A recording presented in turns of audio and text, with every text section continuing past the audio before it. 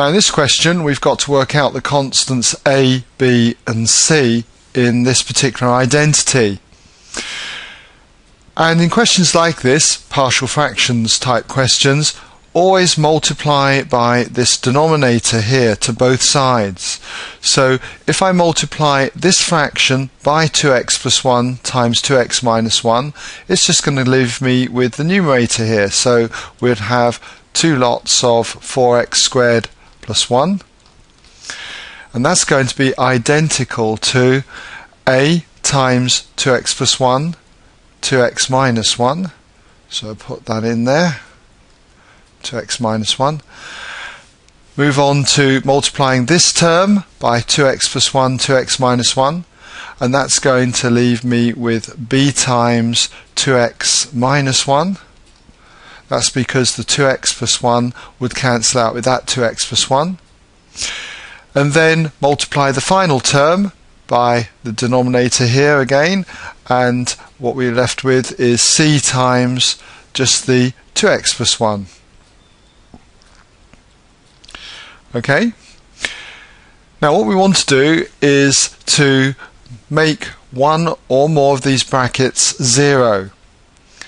It makes the solution of this very quick and easy. So if I was to choose, say, x equals minus a half, for instance, it would take out this particular term because this bracket would be zero. So I'm going to let x equal minus a half. So Therefore, if I put minus a half in for x here, I've got minus a half squared, which is a quarter.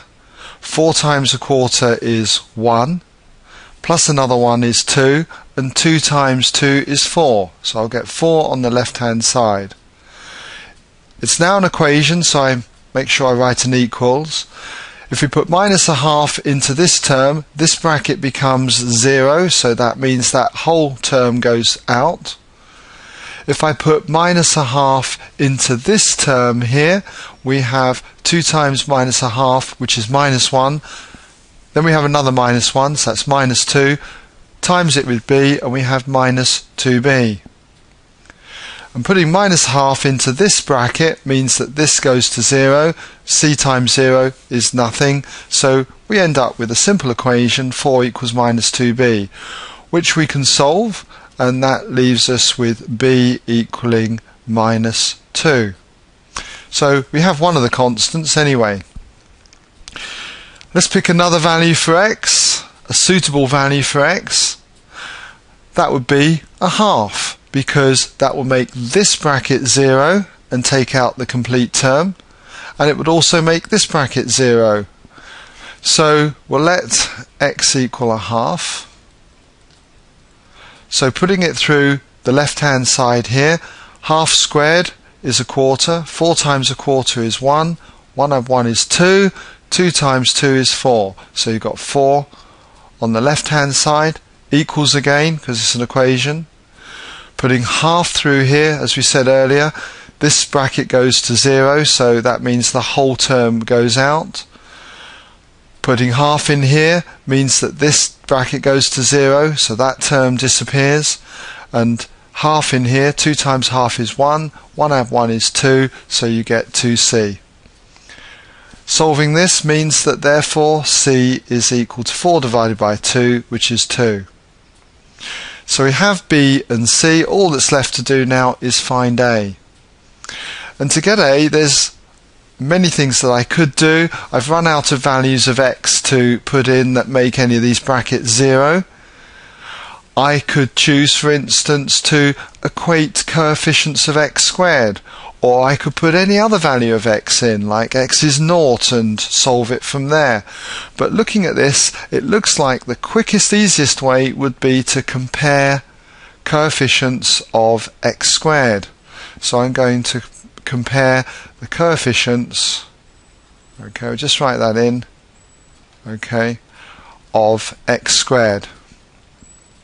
By that we're looking at the numbers that would be in front of any x squared term. Now on the left hand side, if you were to expand this out, you would get 8x squared plus 2. So it's the 8 that is the coefficient of x squared. So I'll put 8 here. and it's equal to.